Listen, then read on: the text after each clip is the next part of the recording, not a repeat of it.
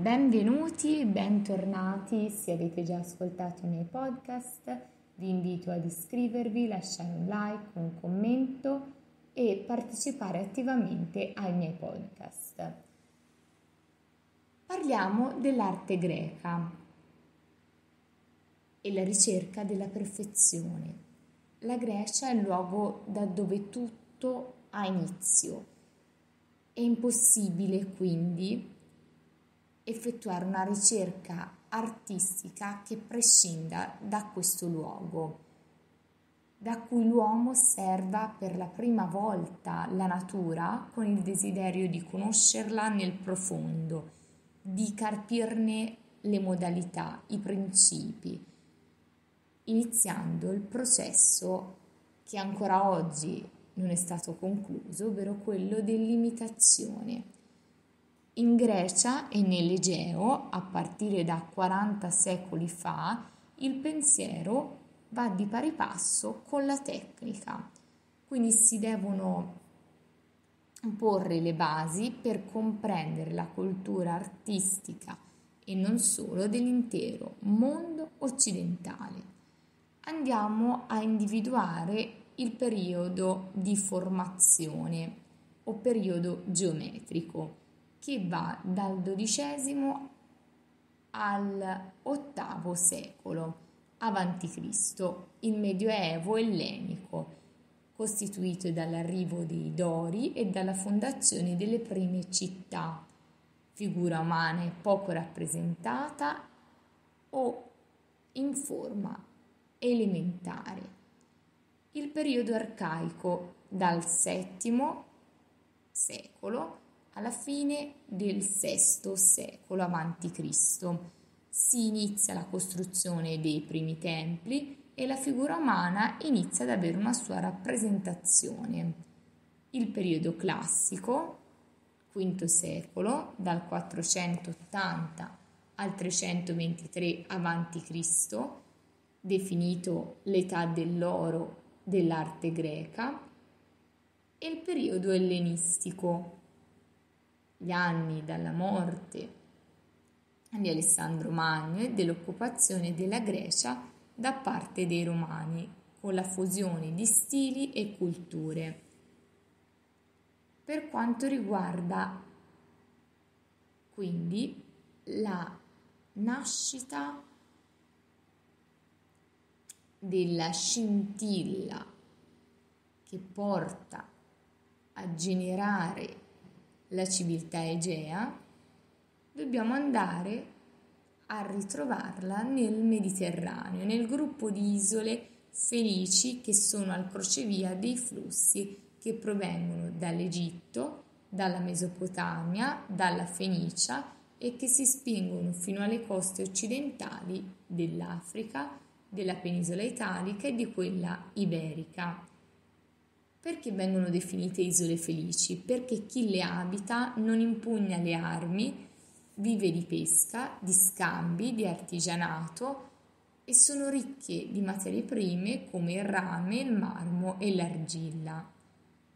Nelle Cicladi troviamo le più antiche testimonianze di questa prosperità. Gli uomini danno forma concreta ai pensieri attraverso piccole statue, gli idoli, che riproducono corpi umani in modo stilizzato ma efficace, fertili e tondeggianti corpi femminili, semplici volti e figure intente in specifiche attività, come il noto suonatore di lira che viene raffigurato in posizione seduta mentre imbraccia il suo strumento musicale. Sono state destinate alla devozione privata e a culti propiziatori che testimoniano come la pace e il benessere favoriscano anche lo sviluppo della cultura e delle arti.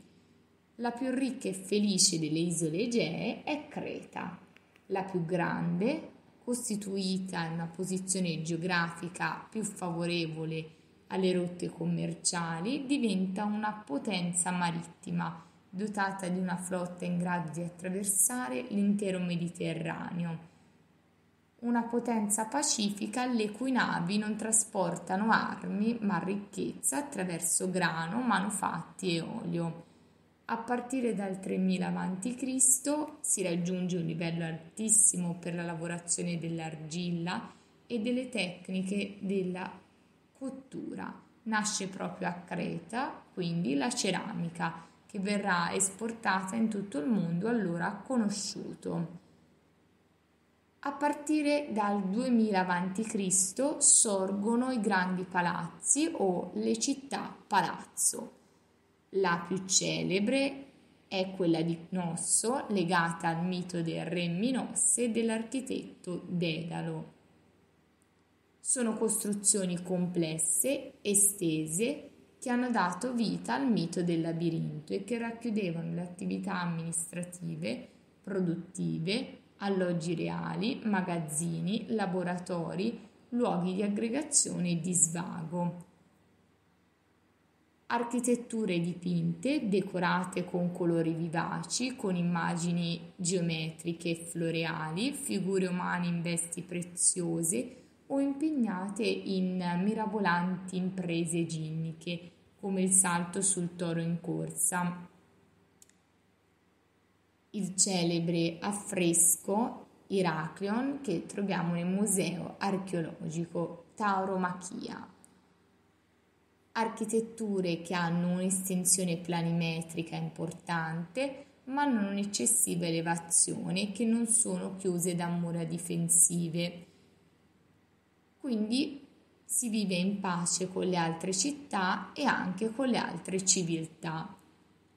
Anche sulla terraferma, nella Grecia continentale, assistiamo attorno al secondo millennio alla presenza degli Achei che provengono dall'est e si insediano nel Peloponneso e danno vita a un'altra civiltà diversa.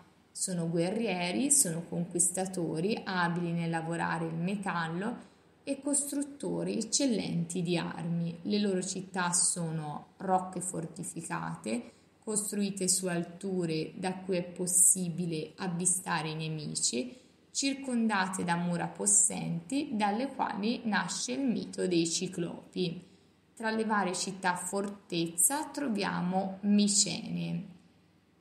Due luoghi significativi all'interno di questi complessi sono il Megaron, la sala del trono e delle udienze, con lo spazio per il sacro focolare circondato da colonne e la necropoli, la città dei morti, le cui architetture imponenti testimoniano l'importanza del culto dei defunti. La tendenza alla conquista della civiltà micenea porta quest'ultima anche a inglobare quella cretese, già in declino a causa di catastrofi naturali intorno al 1000 a.C. Questa fusione sarà la base della formazione della cultura e dell'arte greca. Bene, per quanto riguarda questo podcast è tutto. Vi invito a mettere like, commentare, continuare a seguire questi episodi.